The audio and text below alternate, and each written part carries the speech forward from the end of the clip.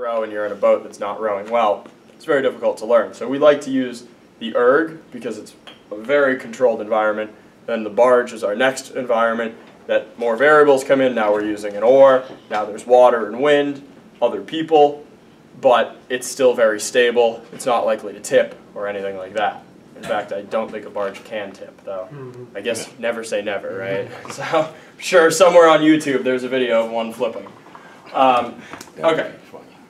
So what you want to do is um, the pick drill works us through all the phases of the rowing stroke that are really important.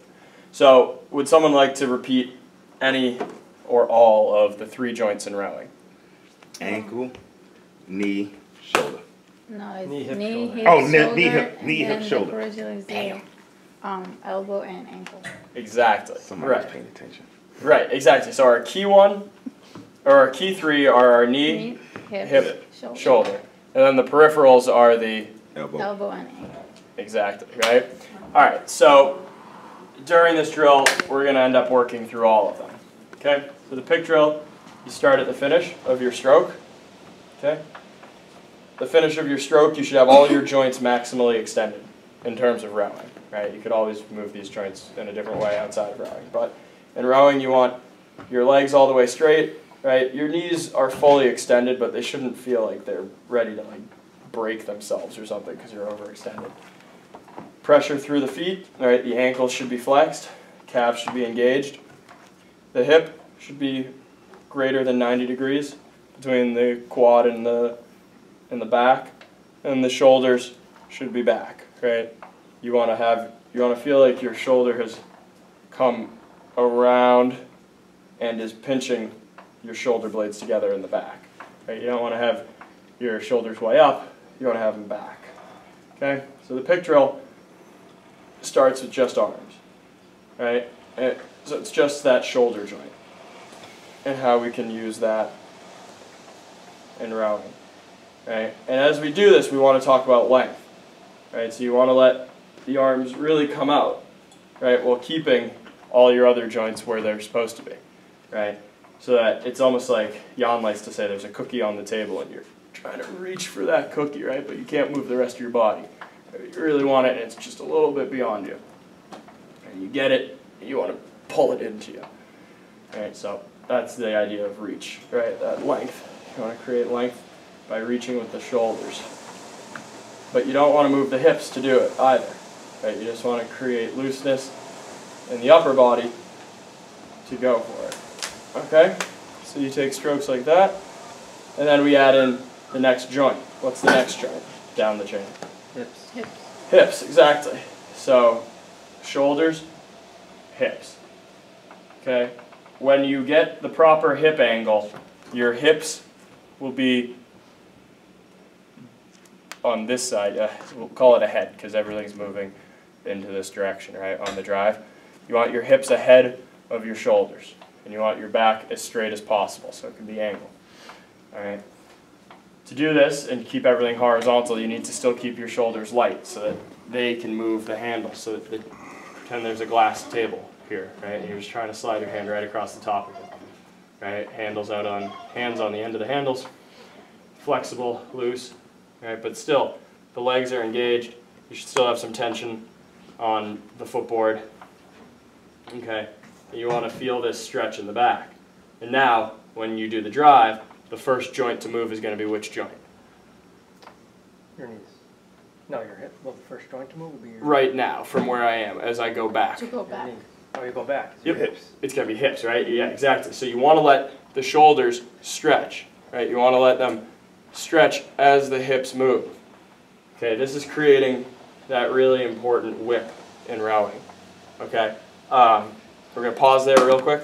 The first more aggressive and more whippy as you're able to add the momentum of the legs at the beginning to give this initial speed to what we're doing. But the reason we start from the back half is because it's really important to know how these work independent of the legs. Because a lot of people blur it or just use the legs as their main source of power. It really should be that continuing acceleration that maintains our power. Right? So, back and then arms. or shoulders, hips, and now you're forward. And you want to, we'll take 10 strokes just with the hips, letting the arms hang, trying to use our body weight to kind of suspend against that handle. Okay, keeping, you got to keep good tension in the core, or else it'll start to tax your back. But, right, you want to be able to feel that you're producing power and acceleration. That fan noise is a good thing, right? You want to feel like you're producing that just with the hips. And you should feel like, oh man, I'm almost tipping over, right? You still want to keep that force on the toes so that you're kind of gripping so that you're not tipping over. But um, you should feel like there's this momentum that's pulling me because that's when the hands come through. Right? That there should always feel like there's momentum pushing you. And instead of you having to create momentum, you're taking advantage of it that's already there. Right? Obviously, all of it's created by you. The erg's not going to move itself. I wish it would. Um, but you shouldn't feel, except at the very beginning where you're like, okay, nothing's happening and now it's all on me to drive, right? There very quickly becomes a, okay, there's something happening here and it's my job just to stay up with it, like to stay with it the speed that I've produced. Okay, and as you become more powerful, more aerobically fit, more technically sound, you're going to be able to really produce some great numbers on the erg. But even now, you can still produce speed, right? You can produce quickness without necessarily putting in a ton of power or effort to do it. And that's the goal. That's the goal, right? So we want to be able to be quick, not necessarily like feeling like we're pulling so hard veins are ready to like explode in our neck or something. Okay, um, because a lot of people confuse that. Like, oh, it's not moving fast. If I just push harder, it will move faster. Not really. It will, but it will still be just as crappy. So you're just working harder to make it not smooth. So you can make it smooth without putting in a ton of power. Make sense? Rowing is a weird balance. It's delicate. It's not. It is an alpha male sport where like people who love to work hard do great, but it's not just about mindless like moving. It's it's about figuring out how to make it work together. So yeah, you want to feel your hips moving and hips and shoulders. Right. So this is the second phase of our picture. We'll take some strokes here, and then we'll go up. What do you? What's our next thing if we're gonna move a little further up? It's gonna be knees, right? Knees are our next stroke, exactly.